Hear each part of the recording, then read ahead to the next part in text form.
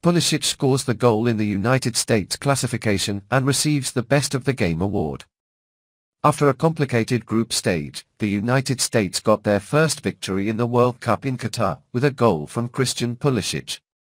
The number 10 shirt was responsible for scoring the net in the US victory over Iran by 1-0 this Tuesday, and, with that, he was elected the best of the match.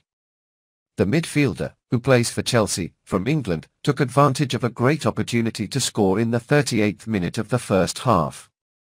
A ball was thrown to fullback Dest, who headed it to the opposite post. Pulisic entered the play and finished for the goal. In the move, the midfielder collided with the Iranian goalkeeper with great force and fell to the ground in pain. The number 10 came back to the game to play in the seven minutes that remained in the stage, but was replaced at half-time. According to a publication by the US national team on social media, an abdominal injury was found, where Pulisic was hit by the opposing defender's knee. Further details about the injury were not released. Despite having only played in the first 45 minutes, Pulisic ended the match leading in some respects. The midfielder was the best finisher in the United States, with accurate shots. In assists for completions, the player also led, alongside Brenden Aaronson, with two passes that generated shots. By finishing in second place in Group B, the United States has to face the Netherlands, for the round of 16 of the World Cup. The teams face each other on Saturday, at 12 h, Brasilia time, to fight for a place in the semifinals of the World Cup.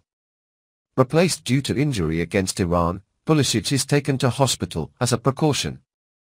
U.S. coach Greg Berhalter said on Tuesday that U.S. striker Christian Pulisic was taken to a hospital for evaluation after suffering a heavy knock during the U.S.'s 1-0 victory over Iran, which qualified the team for the round of 16 of the World Cup in Qatar.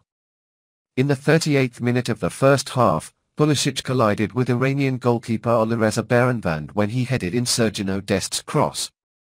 Pulisic was in a lot of pain after the collision with goalkeeper Beiranvand at the time of the USA goal. After being attended to for a few minutes, the striker returned to the pitch at the Al Thumama Stadium in Doha and stayed in the game until the end of the first half, but was substituted at half-time. I replaced him because of the injury, he was taken to the hospital, I think as a precaution. He was feeling a little nauseous. It was a blow to the abdomen, Berhalter said at a press conference after the match, at which Pulisic was also due to be present as he was named man of the match. The American coach added that he managed to communicate with the player in the hospital through a video call and that he was fine. The victory over Iran assured the USA the second position in Group B of the World Cup in Qatar. In the round of 16, the Americans will face the Netherlands, which finished the first phase as leader of Group A.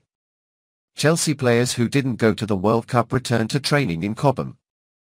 Out of the spotlight of the World Cup in Qatar, a group of 10 Chelsea players who were not called up or did not have their selections classified for the tournament returned to training in Cobham this Tuesday, 29 11th.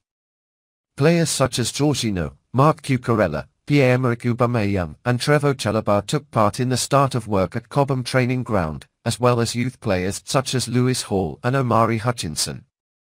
Before returning to the Premier League, Chelsea will face Aston Villa in a friendly in Abu Dhabi on December 11th. Subscribe to the channel, leave your like and have videos updated every day. Leave in the comments what you think about the news.